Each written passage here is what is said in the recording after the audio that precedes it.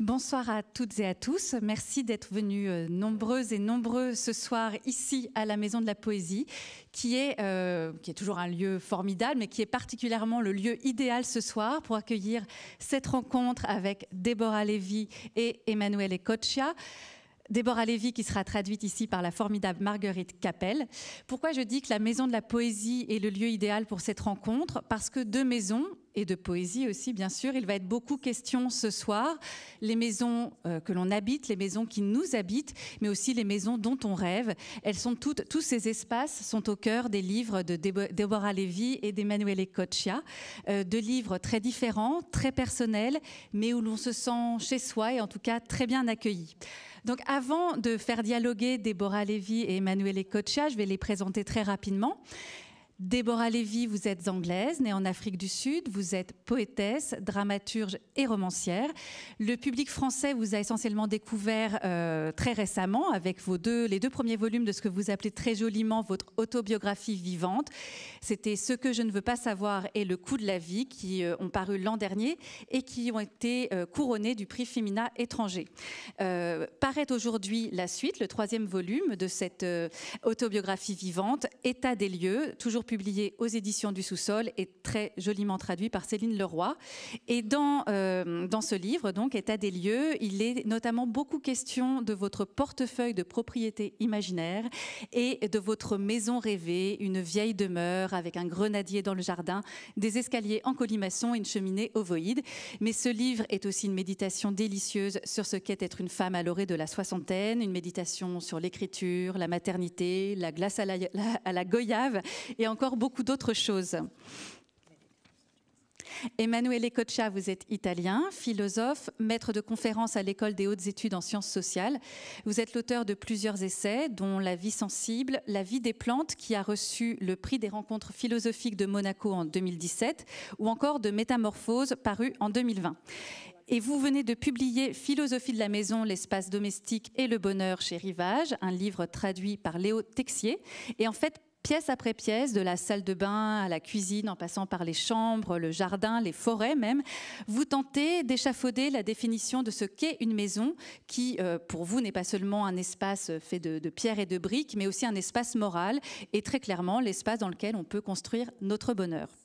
Euh, donc il y a beaucoup de passerelles entre vos deux livres. Je vous signale euh, tout d'abord qu'il y aura une signature à la fin de, cette rencontre, donc vous pourrez faire euh, dédicacer vos, livres. Et donc je rappelle que, Déborah Lévy va être traduite par, Marguerite Capel. Donc, comme je le, disais en introduction, vos deux livres sont très riches et ont en leur centre la question de la maison. Alors je vais d'abord savoir pourquoi vous aviez choisi de vous intéresser à ce sujet. Est-ce que chez vous c'était le point de départ, Déborah Lévy, cette idée, cette vision de cette euh, demeure rêvée?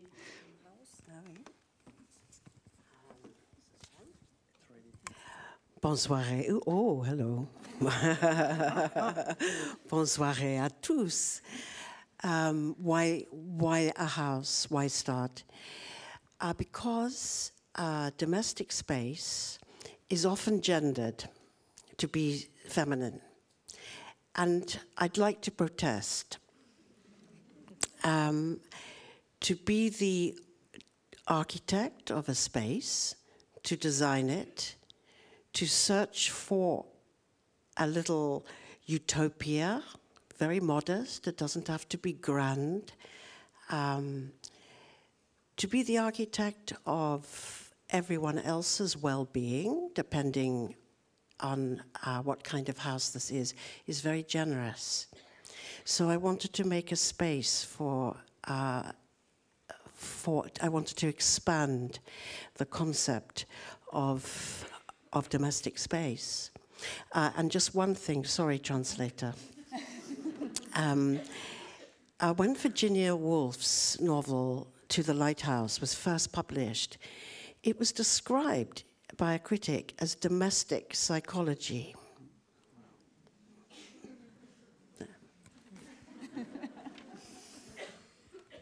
Pourquoi euh, partir de, de, la maison? Eh bien parce que l'espace domestique est souvent genré, il est souvent euh, considéré comme féminin, et c'était quelque chose contre lequel je, voulais euh, protester, m'inscrire en faux.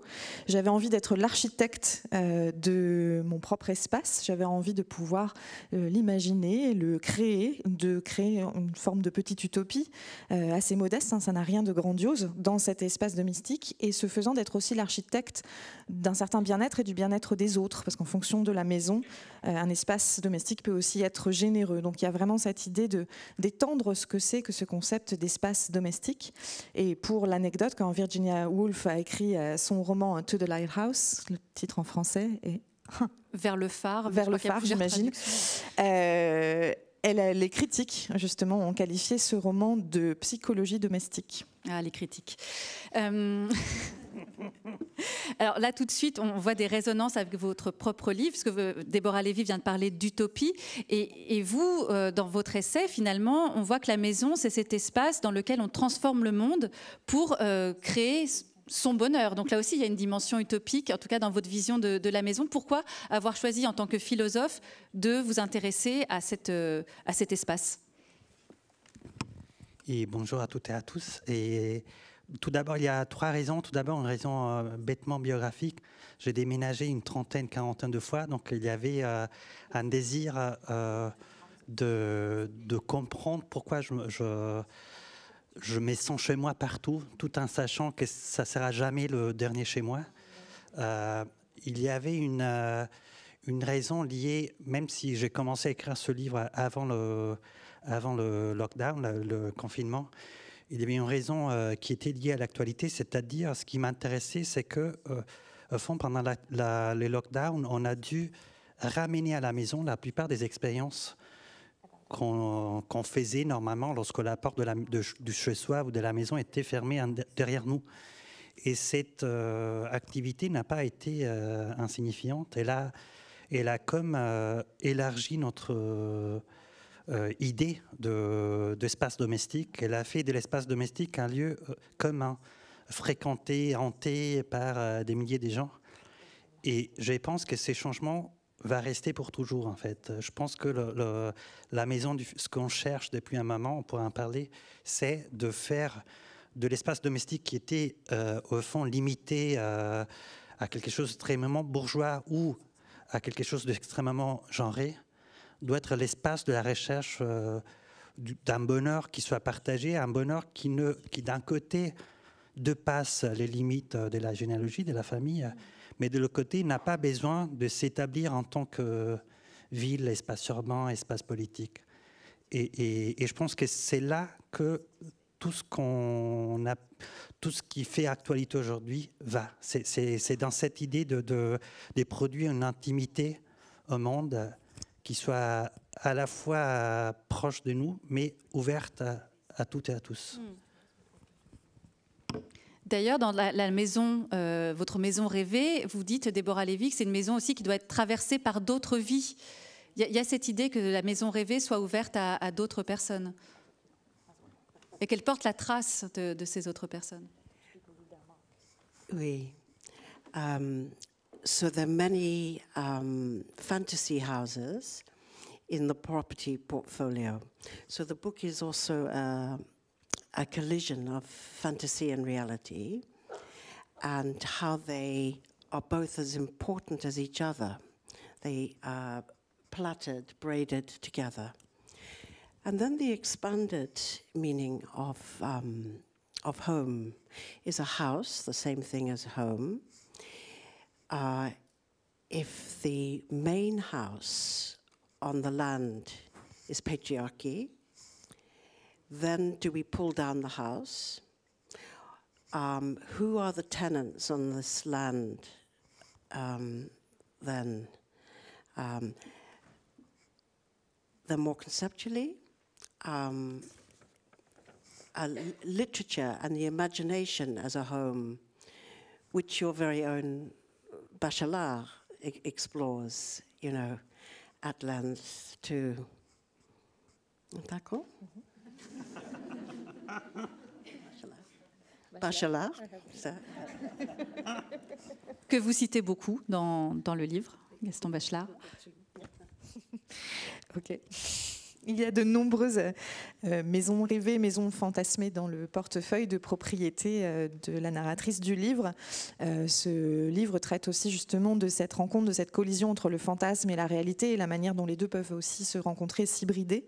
il y a évidemment cette idée effectivement de développer et de détendre la portée du concept de maison. En anglais, on a home, le foyer, et house, la maison.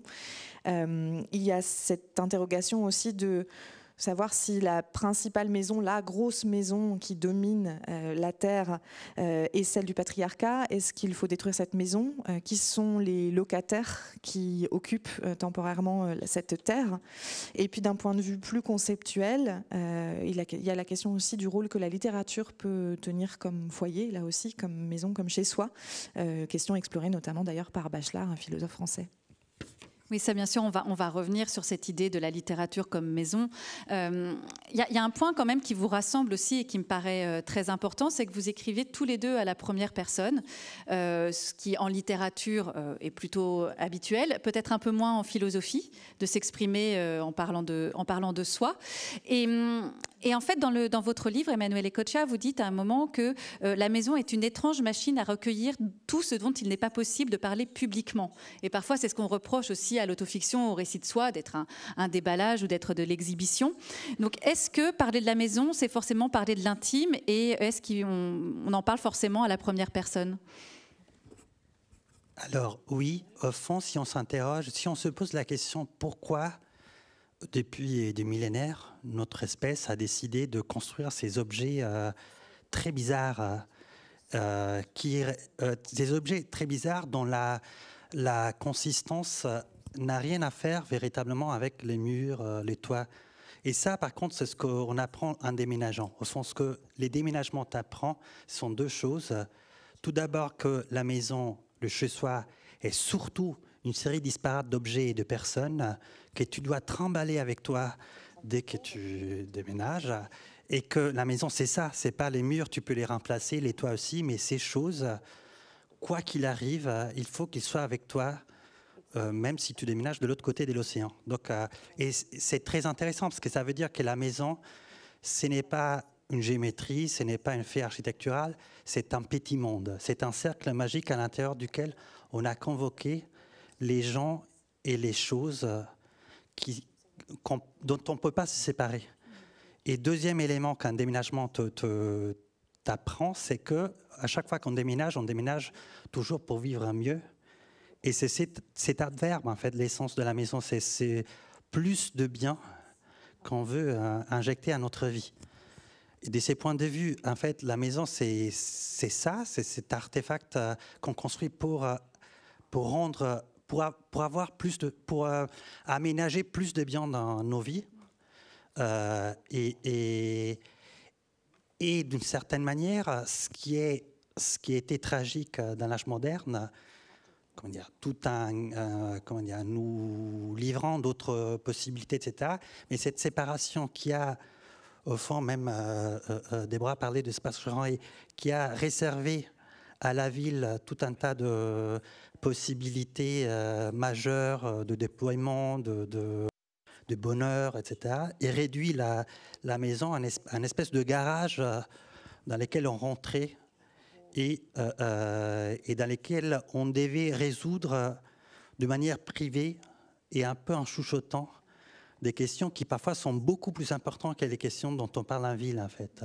Et les livres étaient un, peu, ben, justement Déborah disait je proteste contre aussi en protestation contre cette tradition qui magnifie la vie publique et la vie urbaine et, qui est une euh, tendance, effectivement, euh, euh ben, Déborah a parlé du patriarcat masculine, un peu de, et, de, rabaissement total de, de, de, cette petite cuisine du monde qui nous permet véritablement d'être heureux, pas juste une fois, mais tous les jours et qui est beaucoup plus importante qu'une ville au fond. Euh, et on a eu la preuve pendant les confinements en fait de, de l'importance de cet espace qui garantit jour après jour, nuit après nuit, une espèce de ligne euh, de base d'une existence.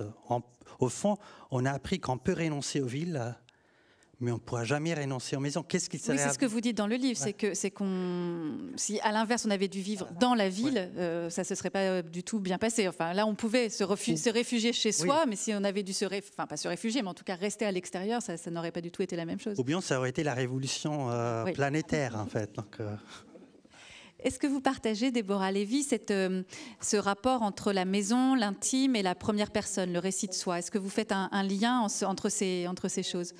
Entre ces éléments That's an interesting idea. Um, the first person, well, you know, the first person is a sort of trick in a way.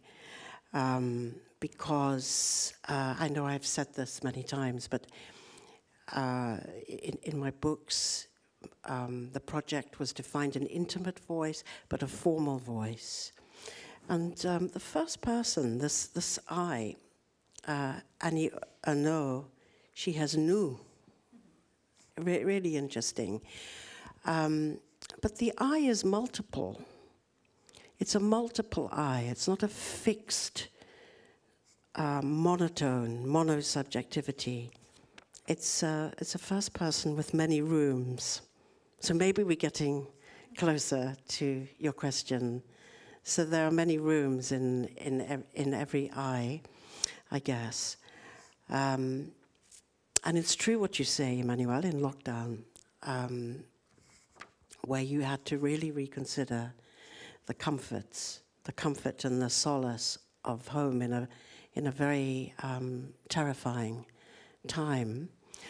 Um, I don't know about you, but it seemed that the sounds in lockdown, the sounds outside, the world became a sort of soundtrack in a way that it uh, not in normal times.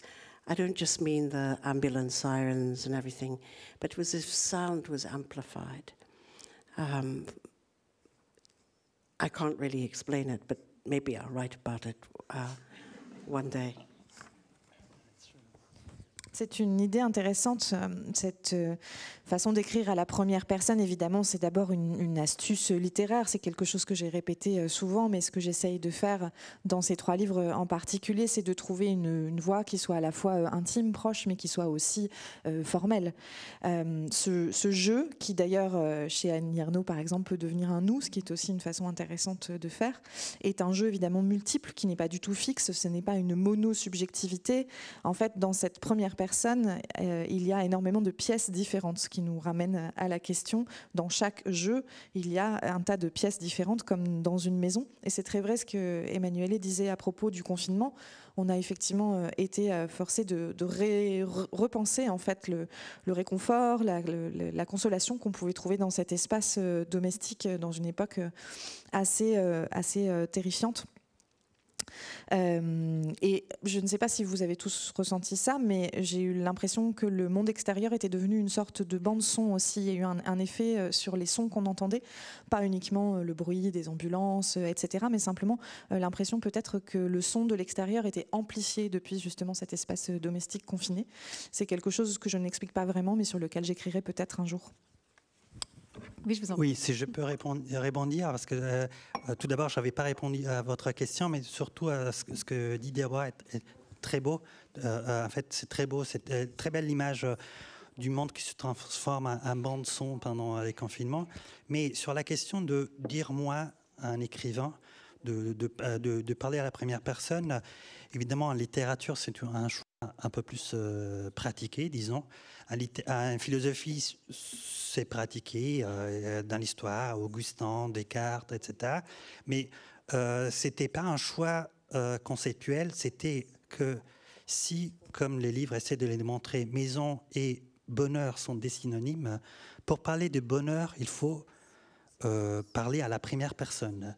C'est ridicule de parler de félicité, bonheur en parlant de comment dire, sens incarné, c'est cette idée très concrète, parce que la félicité, les bonheurs a toujours un bonheur spécifique, concret, euh, localisé, à, une atmosphère près. C'est cette atmosphère-là qui produit les bonheurs. Et d'une certaine manière, ce qui est intéressant, même euh, de ce que Déborah disait lorsqu'il disait au fond, euh, le moi a plusieurs, euh, comme une maison est un moi, mais est un moi qui a plusieurs voix. En fait, ce qu'on fait à, travers une maison, c'est apprendre au monde à dire moi à notre place. C'est ce, que, ce qui est étonnant à chaque fois qu'on rentre dans la maison, de, dans les chez-soi de quelqu'un, on voit tout de suite, on comprend tout.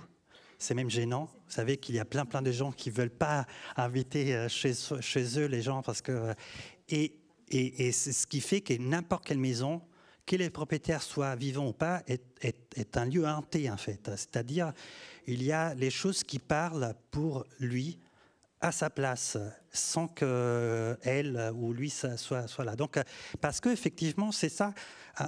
si on y réfléchit, en, accumulant les choses euh, euh, dans un même endroit et des personnes, on essaye de donner au monde notre image mais qui est une image pas narcissique, qui est une image de, notre bonheur, c'est-à-dire du monde en tant qu'il est capable d'accueillir notre vie. Euh, ça, résonne beaucoup avec la façon d'écrire de Rebecca, de, pardon, on a parlé de Rebecca Solnit avant, de Déborah Lévy où les, objets sont très présents aussi, et par les objets décrits, euh, ça, fait aussi ça brosse un portrait de la, narratrice. Euh, il y a les, fameux draps en soie couleur curcuma, il y a les petits chevaux euh, qui décorent l'appartement, l'appartement de la narratrice à Londres. Il y a comme ça énormément d'objets disséminés dans le récit et qui crée aussi un portrait de la narratrice. Est-ce que vous avez déjà, est-ce que vous partagez avec Emmanuel Ecoccia l'idée que euh, la maison serait l'endroit où on, fabrique le bonheur et euh, où la maison serait aussi, euh, enfin, révélerait beaucoup de, soi à travers les objets, notamment qu'on y, qu'on y entasse? Oui, I, I, I do think um, our homes reveal a lot about ourselves because um, they are they are a class portrait. Whether we like it or not. Um, they are also there to seduce, whether we admit it or not. Um, and for myself, um, it so much uh, objects can do so much of the speaking for me as a writer. Um, so uh, literally, uh, they're not so small, the horses four foot, maybe.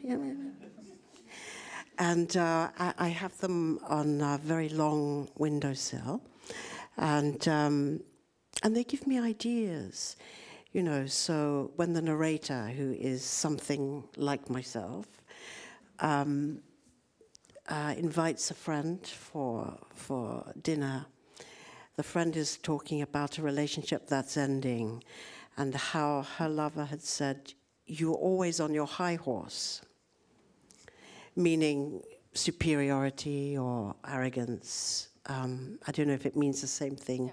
Yeah. yeah, you're on your high horse. And then I was thinking, well, why bother to drag a woman off her high horse? How low do you want her to fall? And that uh, maybe um, I went off on on a gallop with this um, horse, you know, that maybe it's she must get on her high horse and steer it into the world. And I have some hu- humor. I imagine the horse on a motorway, off to get your mobile phone screen, smash screen, mended, da da, you know, but get on your high horse, I thought was, um, came from an object. Uh, pardon, translate that just one more point.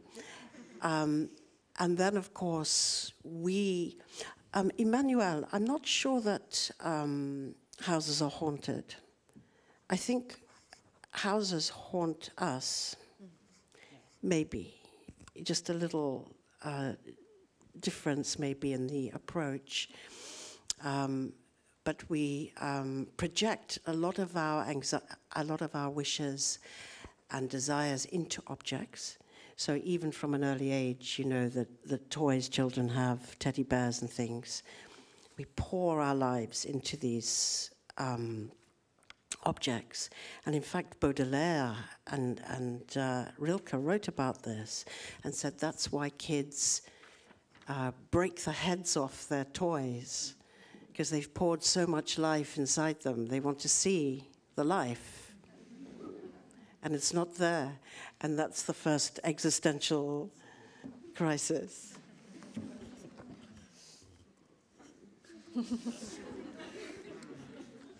Je suis d'accord avec l'idée que la maison révèle énormément de, choses de nous. Une maison, euh, c'est déjà c'est un portrait de classe, que ça nous plaise ou non. Euh, une maison, elle sert aussi à séduire, qu'on soit prêt à l'admettre euh, ou pas. Et euh, moi, en tant qu'écrivain, j'ai souvent effectivement l'impression que les objets euh, s'expriment parfois très bien à ma place, peuvent exprimer énormément de choses pour moi. À propos de ces petits chevaux, ils ne sont pas si petits en fait, ils font à peu près 50 cm de haut, ils sont euh, positionnés le, long d'une baie vitrée dans mon appartement. J'aime bien ces chevaux et ils m'ont donné une idée quand la narratrice, qui me ressemble beaucoup, dans le livre, invite une amie à dîner. Cette amie lui raconte qu'elle est en train d'arriver à la fin de, sa relation de couple, de son histoire d'amour, et que son amant, son compagnon, lui a dit Mais tu montes toujours sur tes grands chevaux expression qui a le même sens en anglais, qui exprime une forme de supériorité, peut-être d'arrogance. Et je me suis demandé quand elle a dit ça, mais pourquoi vouloir faire descendre cette femme de ses grands chevaux? Jusqu'où est-ce qu'elle doit tomber? Pourquoi vouloir à tout prix la faire descendre de ses grands chevaux? Moi, j'ai plutôt envie, au contraire, de la voir partir au galop, qu'elle monte sur ses grands chevaux, qu'elle aille euh, euh, courir le monde euh, sur ses grands chevaux, sur l'autoroute, et qu'on la voit, qu'on la filme quand elle passe avec nos téléphones portables. j'ai envie de cette image-là. Et, cette image-là est, née justement de cet objet qui étaient, euh, qui étaient ces, petits chevaux, euh, ces moyens chevaux. Euh, je ne suis pas sûre, en revanche, comme le disait Emmanuel, que, les maisons soient hantées. Je pense que ce sont plutôt les maisons qui nous hantent, peut-être, ce qui est une façon un petit peu différente de le voir. parce que nous avons tendance à projeter énormément de nos désirs et de nos souhaits à l'intérieur des objets qui nous tiennent à cœur.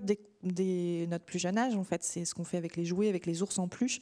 On y met un peu toute notre vie, on y projette notre vie. Et euh, Baudelaire a écrit là-dessus et a écrit que c'est pour ça euh, que les gamins ont tendance à arracher la tête de leurs jouets. C'est parce qu'ils ont mis tellement de vie en fait à l'intérieur de ces jouets qu'ils ont envie de voir cette vie. Et évidemment, ils ne la trouvent pas en arrachant la tête du nounours. Donc c'est la première crise existentielle. Mais d'ailleurs, vous dites quelque chose d'assez similaire dans, votre livre sur le rapport qu'on entretient aux choses. Ce qui, est, aussi assez amusant dans vos deux livres, c'est que chacun, parce qu'il faut quand même dire que tous les deux, vous êtes des grands voyageurs. C'est amusant, vous avez des vies très nomades et en même temps, vous écrivez, vous parlez de la maison euh, l'un et l'autre.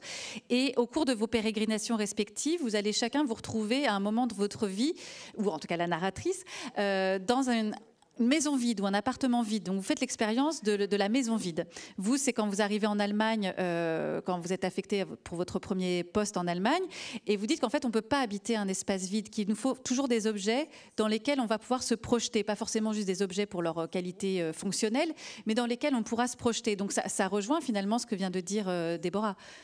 Et oui, je raconte peut-être juste deux secondes l'histoire. C'était en fait, comme vous l'avez dit, on m'avait donné un poste à Fribourg. Et euh, j'arrive et pour la première fois, je peux me permettre une maison, euh, un appart euh, grand, beau, qui ressemblait un peu à une espèce de bateau spatial. J'adorais ça.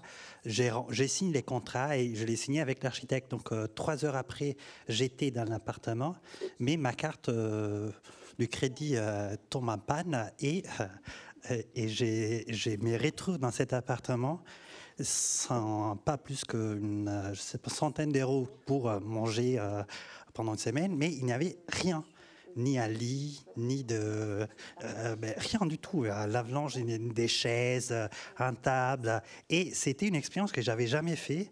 En fait, un espace de ce type est inhabitable. On dit que la maison sert à habiter, mais non, c'est en fait c'est impossible. C'est beaucoup plus pratique une forêt ou, euh, la rue, une maison en tant que cube euh, à l'intérieur. On peut pas dormir parce que c'est juste impossible. On peut pas travailler, on peut pas manger, on peut pas rien du tout. Donc euh, c'est là que je me suis aperçu qu'en fait on dit on habite une maison. Mais en fait, on habite toujours des choses. On est, avec des objets, que ce soit une chaise, un lit, des vêtements, des assiettes, etc et que ce sont euh, carrément les choses, les objets qui nous, même qui nous préviennent, qui nous euh, défendent de la violence inouïe de ce qu'on appelle maison. Parce que la maison, c'est euh, voilà, quelque chose qui rend impossible notre existence.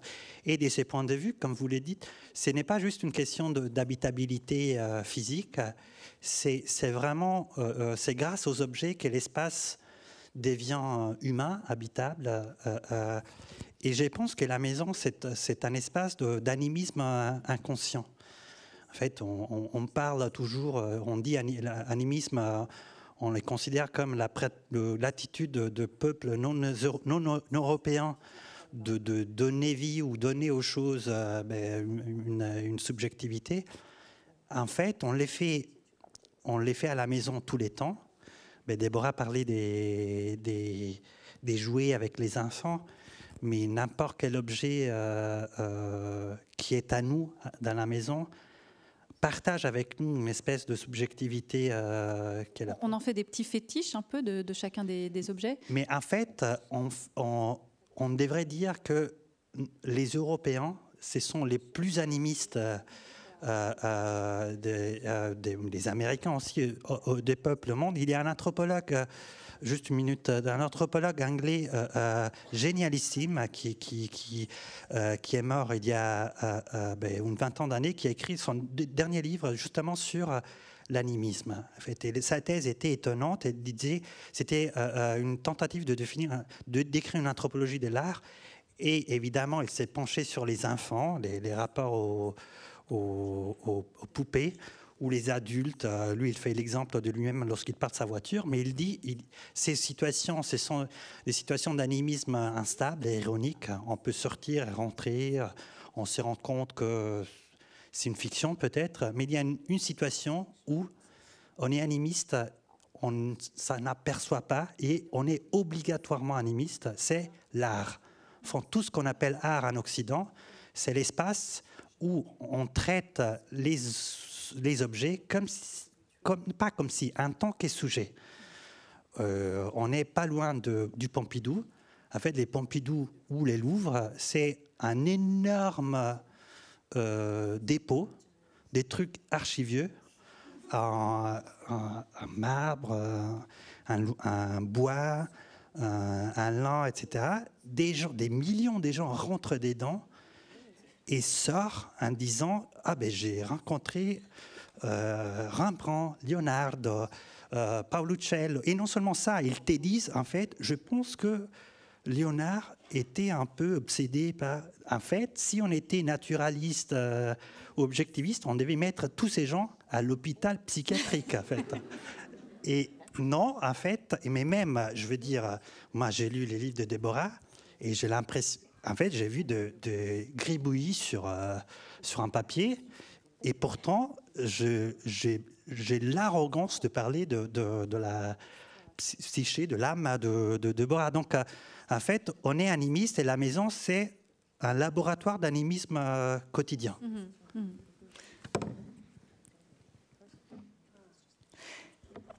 Uh, Emmanuel. Déborah. Monsieur, uh, you said you were in Fribourg. this is where Heidegger was at university. So were you teaching at the university? Yes, the same university. Ah, so was the university haunted by Anna Arendt and, and, and, and, and Heidegger? Oui, oui, c'était la, la, même université où ben, on respirait la... Sorry, it's actually it's, it's me. Um,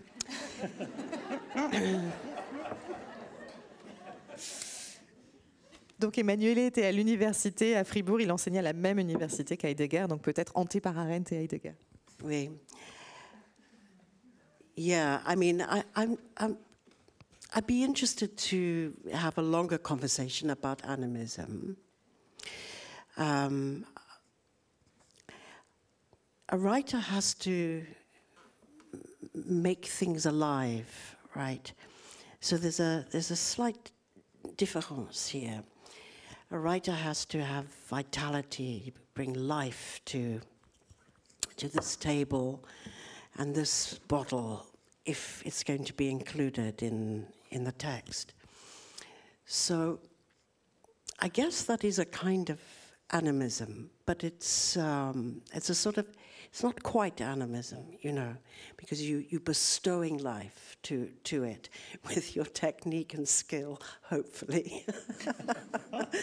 um, so then there is the way that um, I guess the answer my question would then be, how do objects talk back to us? Because Otherwise, it's just a monologue, it's not a dialogue. And, um, and I'm not sure that objects have more than about three or four lines. They have memories. they, uh, you know, they, they, have memories for us of a moment. Uh, they have history.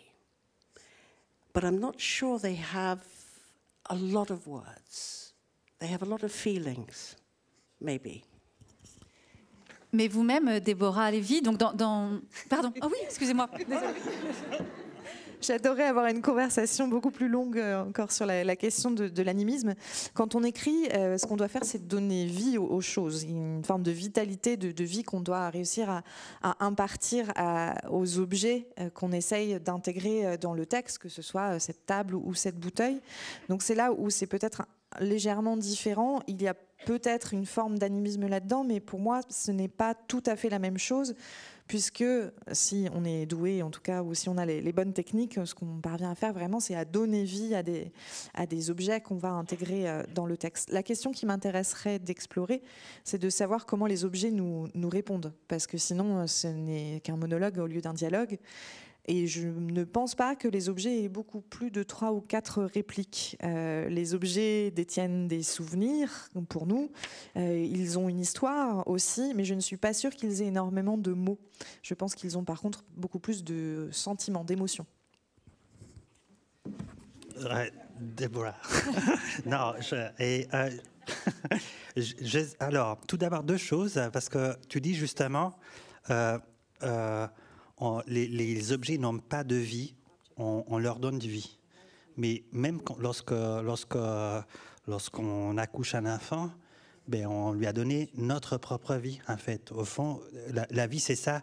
Chaque vivant a toujours pris la vie de quelqu'un d'autre qui était déjà en vie.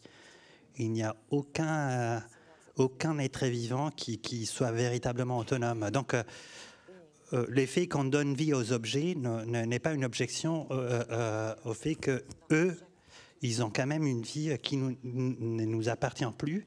Et la preuve, parce que je, vois très bien ce que, ce que tu entends quand tu dis ils ont trois, quatre répliques. Mais si on prend par exemple ton, ton livre, tes livres, ils vont avoir plein, plein de répliques pendant des siècles en fait, exactement comme pas, je parlais de peinture, le, n'importe quel tableau qui est au Louvre a des répliques qui n'ont plus rien à faire avec la vie du peintre, en fait. Car ce qui est intéressant dans l'objet artistique, c'est qu'il commence à parler une langue que l'artiste n'a pas maîtrisé, ne maîtrisera jamais. C'est ça qu'on appelle, ah, en fait, le miracle de l'œuvre d'art, c'est cette capacité des œuvres justement de parler beaucoup plus et beaucoup mieux que les artistes qui les ont fabriqués. Et c'est ça, c'est pour ça que j'ai l'impression qu'ils ont quand même une vie euh, euh, qui est à eux, en fait. Et que c'est pour ça d'ailleurs que moi, ça me dérange profondément de parler de mes propres livres. Je suis là, c'est un peu bête de dire ça, mais, mais, parce que, euh, en fait, je sais que eux, ils parlent mieux que moi, en fait. Donc, c'est comme parler pour pour ton partenaire ou pour, euh, pour ton enfant. C'est un, c'est un peu violent comme. Oui, oui. Emmanuel. Monsieur. Madame. But is a painting an object? We won't go really too down this road, I know. Okay. Because uh, uh um, it is interesting um, personally, I don't regard a painting as an object, um, but I'm very open to uh, a discussion over a beer uh, la- la- later because um, as you say, art makes a language. But I believe, and maybe this is very animistic, maybe I contradict myself. I believe we give objects, very mundane objects. Mm. I'm not talking about very highly decorated objects. We give them a language because it's our unconscious that we throw in, like, um, you know, like Freud and Winnicott told us. I don't disagree. But maybe we get off the subject of uh, what's an object. En fait, je me demande si un tableau est bien un objet. Euh, discussion sur laquelle on, approfondira peut-être pas euh, forcément, mais euh, c'est une question intéressante. Moi, je ne suis pas forcément, je ne considère pas forcément un tableau comme un objet, bien que je sois tout à fait ouverte à débattre sur ce point. comme tu l'as dit, Emmanuel, l'art crée est une façon de créer sa, propre langue aussi, son propre vocabulaire, mais peut-être qu'il y a quelque chose d'animiste là-dedans. Mais moi, j'ai le sentiment que dans les objets, objets du quotidien, hein, pas forcément les objets euh, œuvres d'art. Euh, c'est nous, euh, pour le coup, qui projetons notre propre langue à nous, parce que c'est notre inconscient que nous projetons dedans, comme nous l'ont dit Freud et Winnicott on voit qu'à partir de la maison, on peut décoller assez loin, euh, mais parce que les maisons sont toujours chargées aussi d'énormément d'esprit. Je ne sais plus lequel de vous deux a commencé à parler des maisons qui nous hantent ou des maisons qui sont hantées. Dans, dans État des lieux, Déborah Lévy, euh, la narratrice, parle notamment de la maison dans laquelle elle a grandi à Johannesburg et qui, c'est une maison dans laquelle elle a vécu et qui continue à l'habiter. Euh, de quelle manière les maisons peuvent effectivement nous, habiter, nous hanter, et de quelle manière elles sont hantées? Enfin, le, rapport avec les, esprits, avec les fantômes peut-être aussi, avec le passé, comment ça, ça se noue justement par, euh, dans la maison? Yes, I, I don't think that we haunt the house. I think the house haunts me.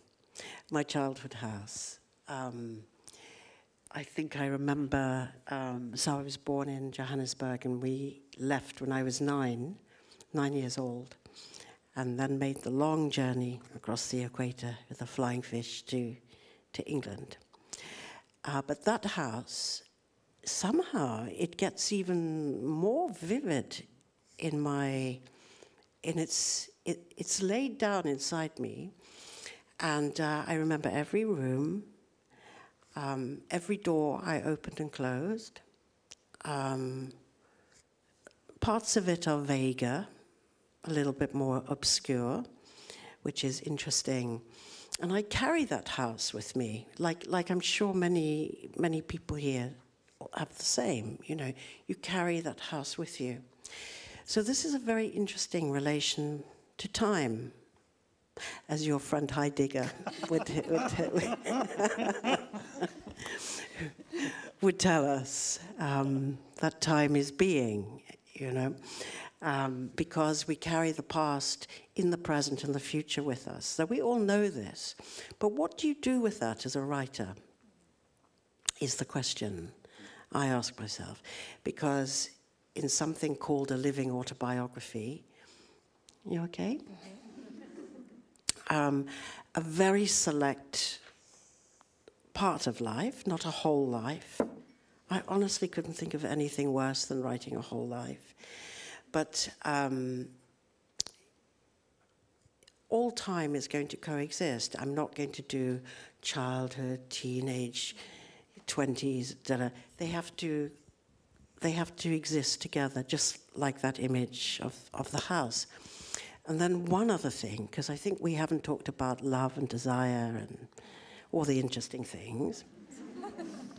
um, in my imagined house, which is a bit like outside there's Bonnard's Mimosa and uh, all of the rest of it, but there's a phantom in this house living with the narrator who is a little bit like me, and the phantom is love. So it's not so much um, that's a haunting, and what kind of it's a it's a it's a you know it's many things, and um, and then I try to embody the phantom, so it's just not just a ghost, you know, with an action, And the action is the phantom of love is uh, peeling an orange by the fireplace. I thought I'd leave it there. Yeah.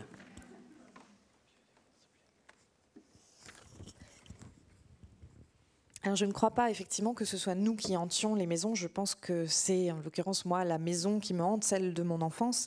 Je suis née à Johannesburg, que j'ai quitté à, 9 ans pour euh, entreprendre ce long voyage au-delà de l'équateur à bord du poisson volant qui m'a amené jusqu'en Angleterre. Et pourtant, euh, les images que je conserve de cette maison sont extrêmement vivaces. Je me souviens de la moindre pièce, de la moindre porte.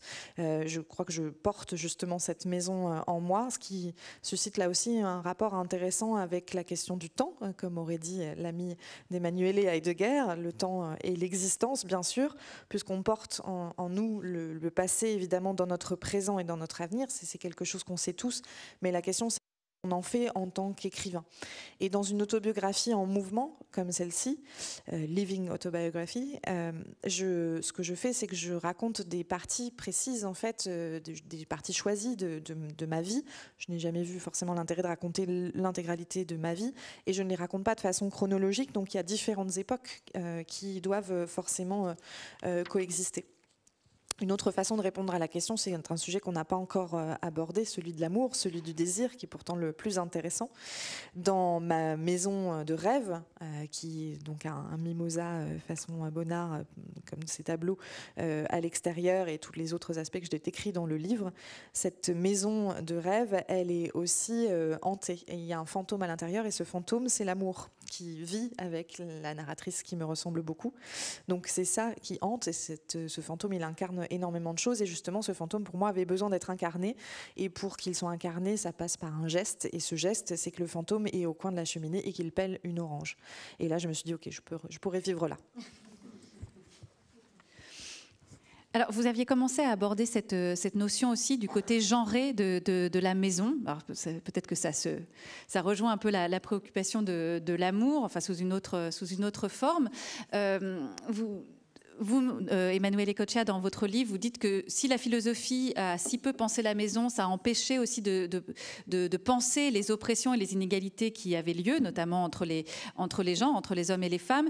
Et c'est aussi une réflexion qui est très présente dans, État des lieux de Déborah Lévy, et vous dites à un moment, pour vous, la maison, elle a été un peu ambiguë, c'est-à-dire que c'était. Euh, pour, les femmes notamment, c'est un endroit assez ambigu. C'est l'endroit dans lequel, dans lequel pardon, elles ont été reléguées pendant longtemps. Et euh, la narratrice elle-même a passé des années euh, dites invisibles, dans lesquelles finalement, pendant lesquelles elle s'occupait de ses enfants, elle faisait à manger. Donc la maison était un peu une, une prison. Et il y a ce jeu finalement de de domination au sein de la maison, mais vous dites également, Déborah Lévy, que quand elle n'est plus euh, imposée par le patriarcat, l'espace domestique peut aussi devenir un espace puissant pour les femmes. Et ça, j'aimerais bien que vous développiez cette, euh, cette idée-là. Et cette double nature de la, de la maison, qui est à la fois ah. euh, un outil du patriarcat, ou en tout cas un lieu du patriarcat, et aussi un lieu d'émancipation. Yes, so I think I wrote about that a little bit differently.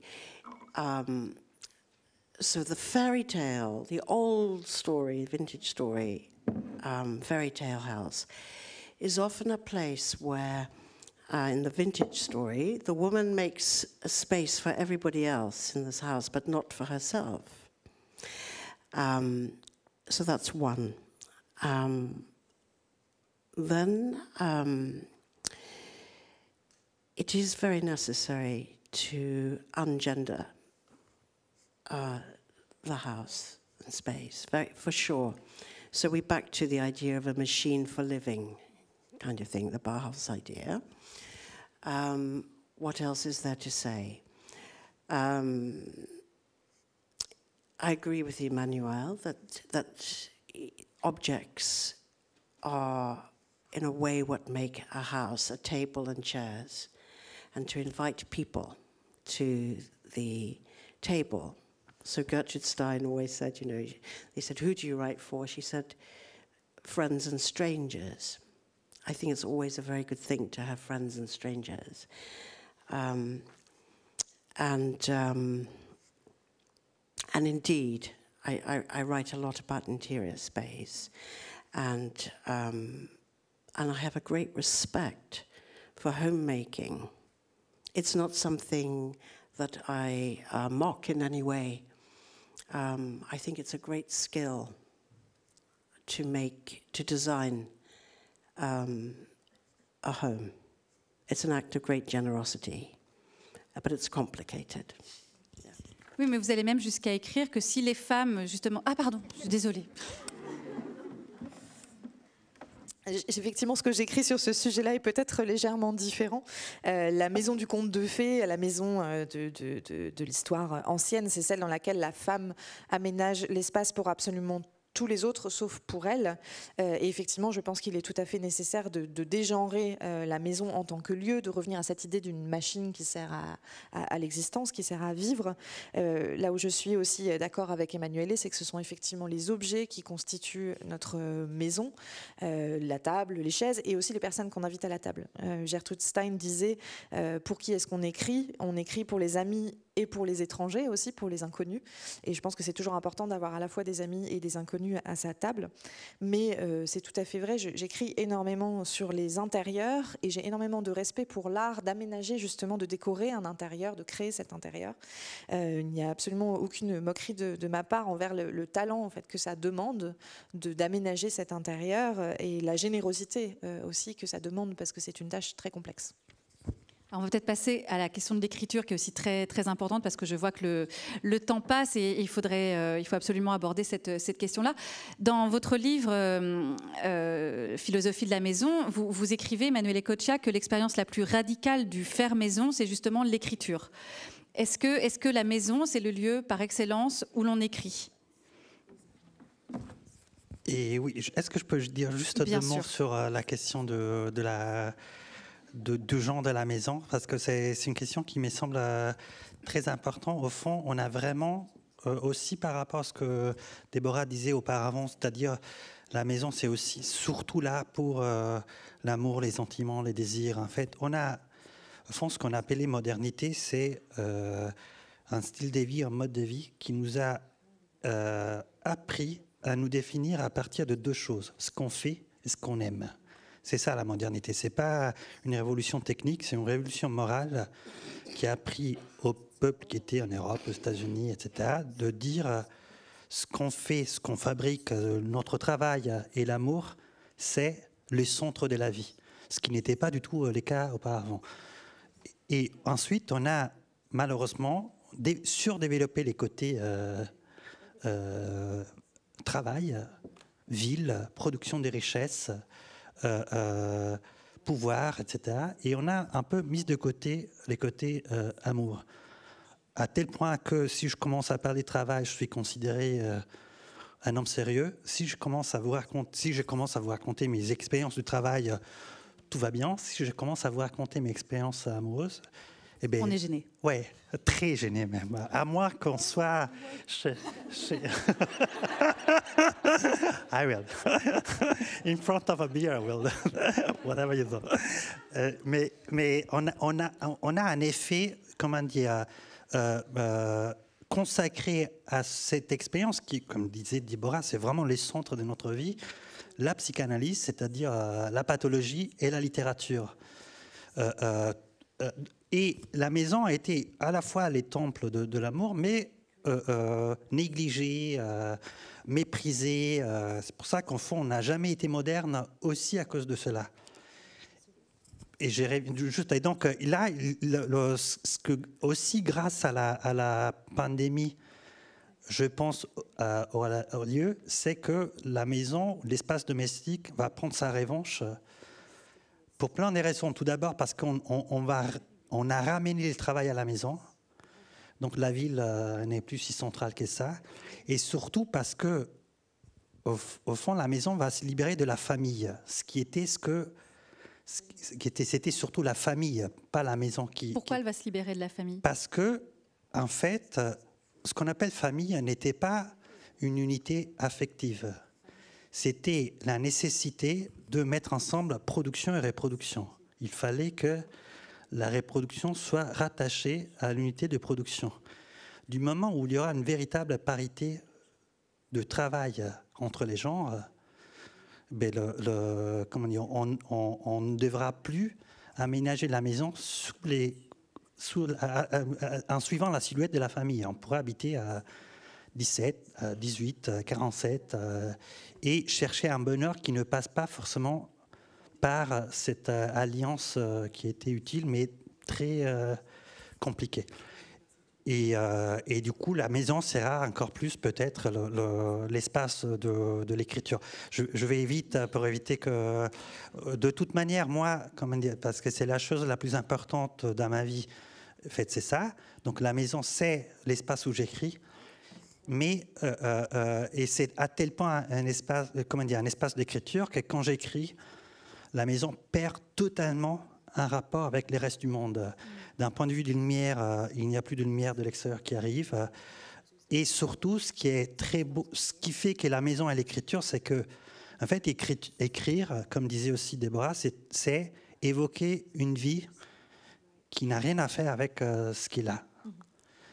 Euh, c'est ça, c'est une capacité médianique incroyable, l'écriture ou des visions psychédéliques. Et si, si vous y Vous comparez à un psychotrope ou à du LSD dans, dans le livre. C'est une chose encore plus... Parce que c'est comme, c'est comme fabriquer la substance qui vous donne des visions. Comment dire, avoir une vision et arriver à sécréter cette substance qui permettra à des gens d'avoir la même vision que vous avez eue. Donc, euh, et en plus, tu n'as pas d'effet de, secondaire, en fait. Ça dépend, ça dépend des livres. Mais ce qui, ce qui est juste. À, ce qui, et la maison, au fond, c'est la même chose. Parce que ce qui m'a frappé quand tu rentres dans la maison de quelqu'un, c'est que tu rentres, ben, on est à Paris, tu rentres euh, chez quelqu'un et tout d'un coup, tu es à Moscou ou tu es à, je sais pas, à Dakar. En fait, à chaque fois, la maison construit un monde qui n'a rien à faire avec euh, ce qui l'entoure. Elle raconte une histoire, en fait. Oui.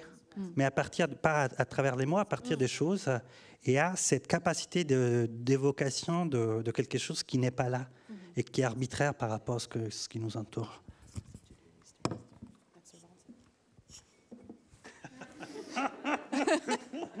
Emmanuel. it's très, very interesting. Did you have a question for me? Oui. en effet. Euh, non, simplement, ça, m'intéresse d'avoir votre point de vue sur le rapport entre la maison et l'écriture, dans la mesure où vous, en tout cas, votre narratrice, il est souvent question du cabanon d'écriture. C'est-à-dire que la narratrice n'écrit pas dans son appartement, le fameux appartement en haut de la colline à Londres, mais loue euh, un cabanon d'écriture. Et d'ailleurs, elle en change euh, au, cours du, au cours du livre. Elle change de cabanon d'écriture. Donc, où est la maison? Est-ce que c'est le cabanon d'écriture, le lieu donc où vous écrivez, ou est-ce que c'est celui où vous vivez? Enfin, la narratrice, bien sûr. it's definitely not the shed. Thank goodness. Um, so, yes, it was a revelation, uh, Emmanuel, to write outside of the home in a sort of wooden cabin, seriously, with um, an apple tree, uh, apples falling on the roof, big, big explosions apples make you can you can understand why Newton, sort of looking at the apple falling. Oh. Um, uh, so I would very much recommend, if you can possibly find a shed, everybody to to to, to write in. Um, that's a good thing. Um, coming home, then. Uh, it's not like no writing happens in the home, of course. Um, you know, you're excited about something you've written, and you you make, uh, you cook for your family and you then think, oh, I'm just going back to page eight. Uh, th- there is that. Um, I do think that the home is um, like writing, if we're going to make this sort of connection. Um, I think they're both about desire. But I mean, I don't just mean sexual desire, I mean wanting something, uh, wanting to make something, to find something, to lose something, etc.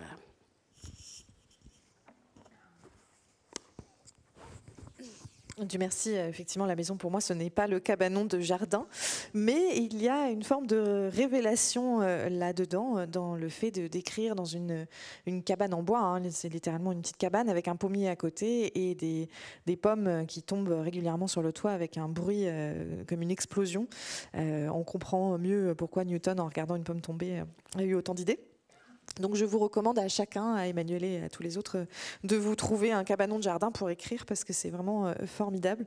Euh, mais bien sûr, évidemment, quand je rentre chez moi, ça ne signifie pas qu'il n'y a aucune activité d'écriture euh, qui puisse se passer dans la maison où j'habite. Parfois, vous êtes d'un seul coup, vous, êtes en train de cuisiner et puis vous, vous repensez à la page 8 et vous avez une idée qui vous vient d'un seul coup et évidemment, vous vous retrouvez à écrire aussi.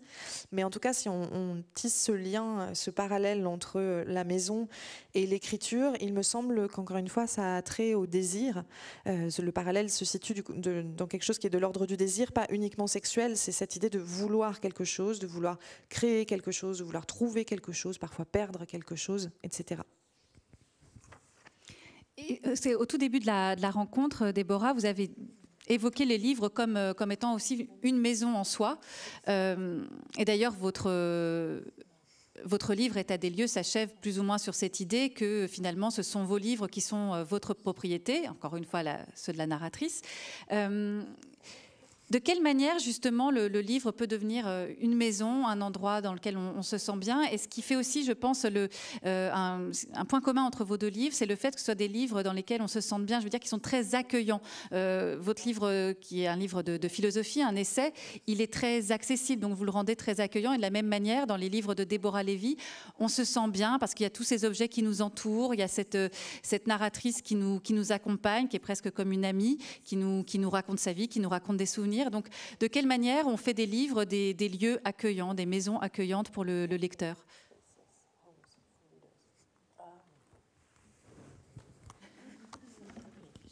Uh, just the last page? We just do a little experiment. If, um, very, uh, to answer your question, um, mm, how, how is the writer hospitable? To readers? Well, maybe that's a very long, long conversation, but maybe, maybe. the book is. maybe, maybe there's some readers who throw the book against the wall, and um, others who want to live in it, and this is the risk we. It's good to take as a writer. So I'm just going to respond to your idea and read um, a page uh, shall I just go? Yeah. No, don't worry. We just go. Okay. Um, shall I go here? Mm-hmm. I suppose that what I most value are real human relations and imagination. It is possible we cannot have one without, without the other. It took me a long time to discard the desire to please those who do not have my best interests at heart and who cannot live warmly with me. I own the books that I have written and bequeath the royalties to my daughters. In this sense, my books are my real estate. They are not private property. There are no fierce dogs or security guards at the gate, and there are no signs forbidding anyone to dive, splash, kiss, fail, feel fury or fear, or be tender or tearful, to fall in love with the wrong person, go mad, become famous, play on the grass. Je crois que ce que je valorise le plus sont les vraies relations humaines et l'imagination. Peut-être qu'il est impossible d'obtenir les premières sans la seconde. J'ai mis du temps à me débarrasser de l'envie de plaire à ceux qui n'agissent pas dans mon intérêt et sont incapables de m'entourer de leur affection. Je possède les livres que j'ai écrits et transmets mes droits d'auteur à mes filles. En ce sens, mes livres sont ma propriété. Propriété qui n'est pas privée, il n'y a ni chien méchant, ni vigile à l'entrée, ni panneau qui interdit aux gens, quels qu'ils soient, de plonger, d'éclabousser, de s'embrasser, d'échouer, d'être furieux ou effrayé, d'être tendre ou triste, de tomber amoureux de la mauvaise personne, de sombrer dans la folie, de devenir célèbre ou de jouer dans l'herbe. Alors, euh, euh, oui, je pense euh, que Déborah a parlé avant du fait qu'elle apprécie beaucoup l'art de making homes, de, faire maison. C'est pas juste décorer, c'est vraiment ouvrir de l'espace pour que des vies puissent euh, y séjourner. Et ce qui a de semblable dans l'écriture, c'est qu'en en fait, on ne devrait pas écrire. En fait, c'est une chose euh, qui est très contre-intuitive. En fait, tout d'abord, c'est un exercice bizarre. On fait des gribouillis euh, sur une page comme des fous. On passe des journées à, écrire des choses, à faire des, dessins qui ne ressemblent à rien.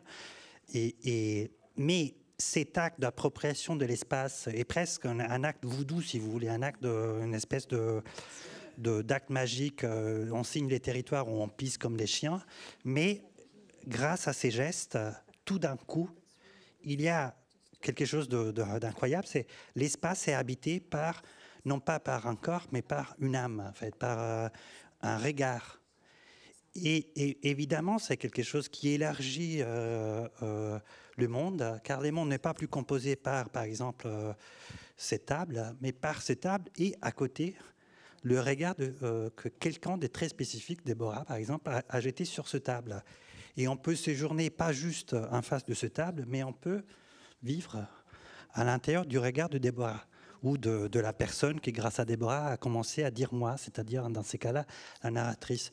Donc non seulement, je pense que vous avez raison dans le sens que, et même la, narratrice a raison dans le sens que écrire, c'est faire maison, mais c'est euh, même une capacité de, c'est un art de making homes, mais à l'énième puissance en fait. C'est-à-dire au fond, c'est élargir les frontières du monde, élargir les frontières de l'habitable en fait, et rendre de fait, même secondaire, la maison réelle physique, ce qui est encore plus euh, magique. Grâce au livre, on peut habiter un peu n'importe où. Euh, donc, euh, c'est quelque chose très. c'est une architecture psychique encore plus développée, au fond. J'imagine que vous partagez cette vision de, de, l'écriture comme un lieu qui ouvre, qui ouvre les portes et qui une espèce de maison qui, qui n'a pas de qui n'a pas de limite en fait. Precisely. Um, it would be really terrible if um, the writing made your world smaller.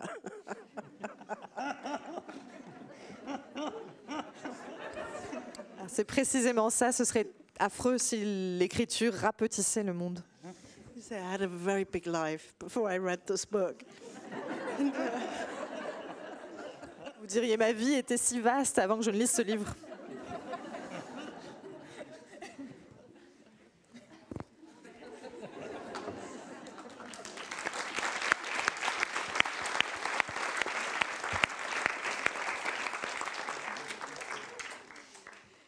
je ne sais pas, je pense qu'on n'a peut-être plus beaucoup de temps. Je ne sais pas si on en a pour prendre des questions dans le public. Et je ne sais pas qui peut me le dire ou pas. Pardon? Donc il faut qu'on arrête maintenant? Ok. Euh, très bien. Bah, écoutez, merci beaucoup. Merci. Euh,